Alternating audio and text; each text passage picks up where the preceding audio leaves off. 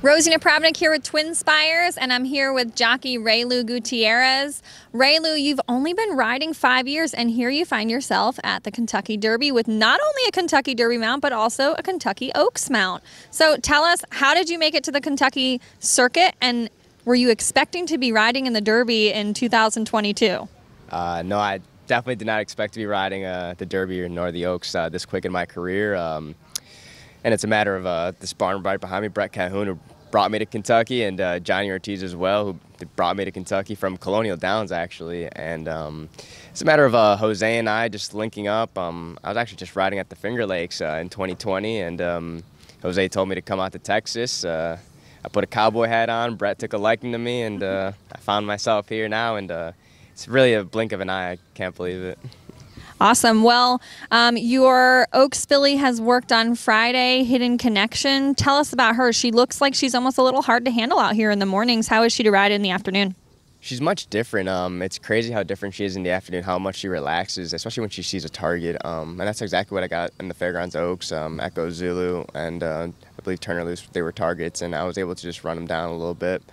But uh, in the morning, she's super keen, and uh, it's a matter of just eating your Wheaties, I guess. And I really had to like gear her down. And but she galloped out so well, and she's going on to her third start after her layoff, and she's never been this good.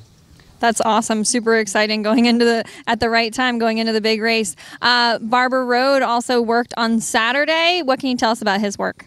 His work was uh, phenomenal. Um, it's exactly what we wanted, exactly what we expect out of him. He's not your best workhorse per se, but he does what he needs to do to keep himself fit and happy. And uh, Saturday he went uh, 48 out, a minute and two, so it was it, it was what we wanted, and uh, just nothing too much from Johnny. Just keeping him happy. He's been running. He's ran in every prep. He's been running consistently since the fall meet at Keeneland last year, where he broke his maiden. So just a matter of just keeping him happy and keeping him healthy.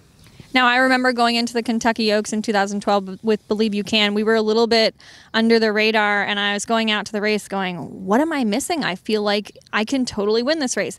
You said yourself, you know, the horse has been right there, but he hasn't had those big wins. So I feel like he's a little bit under the radar. Do you feel the same way? I sure do. Um, talent wise, you know, everybody's going to look at all the talented horses. Of course, Zandon put in extraordinary work, Cyberknife as well. And but that can only get you so far, you know. You know yourself. It's a matter of luck and getting the trip, the right holes, and uh, he's a horse that he's so easy to ride. He's gonna he's gonna put himself where he wants to be, not necessarily where I want him to be, you know. And uh, we're gonna make a run, and uh, if we get those spots, he's gonna come running regardless. Not 20 horses can't go a mile and a quarter, and he can. So uh, I'm gonna be making a good run down there. Yeah, absolutely. Okay, final question. Uh, riding in a 20 horse field, obviously, first time you're going to be doing this. Um, what do you have in mind for preparations? Like, do you do you have someone that you've reached out to, a, an older jockey that's been doing this a while? Uh, do you have a plan for how you how you want to handicap the race? I don't know. You tell me. But uh, uh, Jose's dad, he's helped me out a lot, of course, and um, just watching a lot of replays and. Um, I don't know, but I've, I've talked to Jose's dad quite a bit, and I'll continue to speak to him. And uh, I'm trying not to ask too many questions, you know. Just at the end of the day, everyone, and probably from yourself too, it's experience just being there. Once the gates open, it's cliche. Everyone says everything changes. So um, I guess we'll see when the gates open. But preparation is uh, key, and uh, when we, when we see the draw and the post positions, uh, that's when we'll really get into it.